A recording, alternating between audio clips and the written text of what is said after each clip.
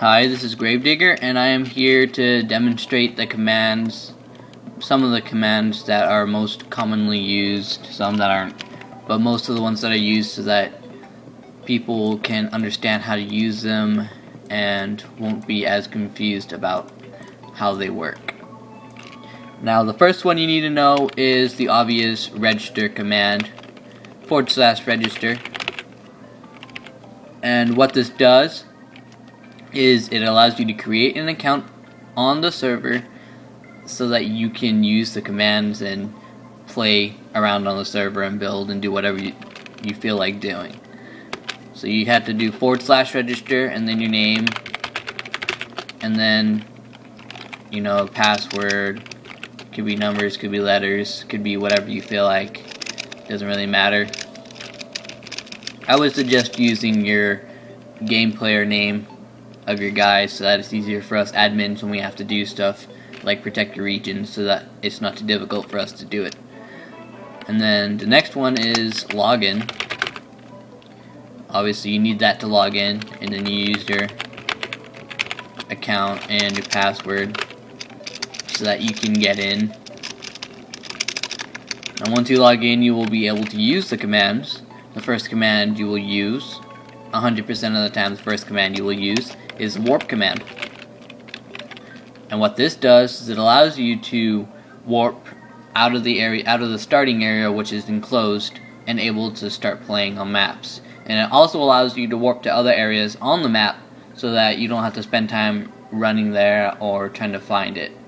It normally costs shards to do that. From what I figured, it was like 100 shards or whatever. I'm not certain about that, but it costs shards to warp. So you want to accumulate shards first.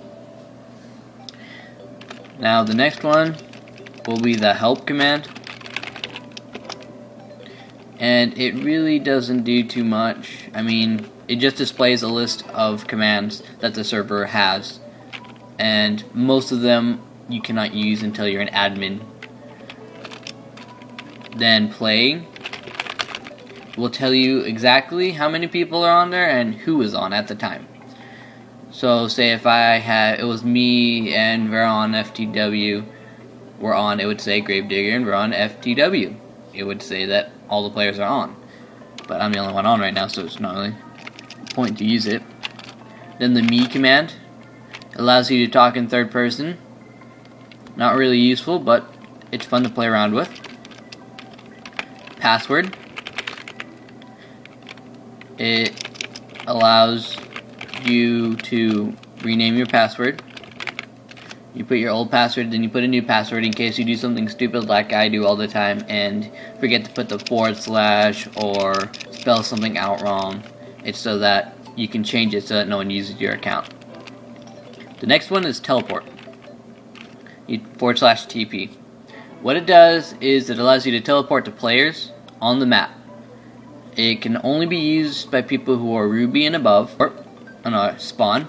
I already used warp. Next one will be spawn. What this does is it automatically teleports you to the spawn point at the very beginning when you first join the server. And then home. Home allows you to teleport to your home where your bed is if you have set a set point there, depending on whether or not you have done it or not. Um, that can only be used by Ruby or above. Now the next one is warp list.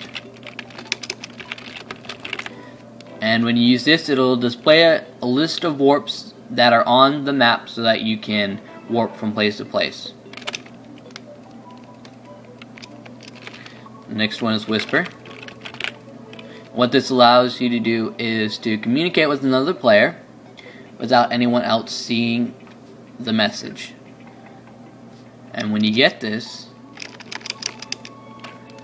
you can hit reply, and you can instantly reply it. Now when you use Whisper,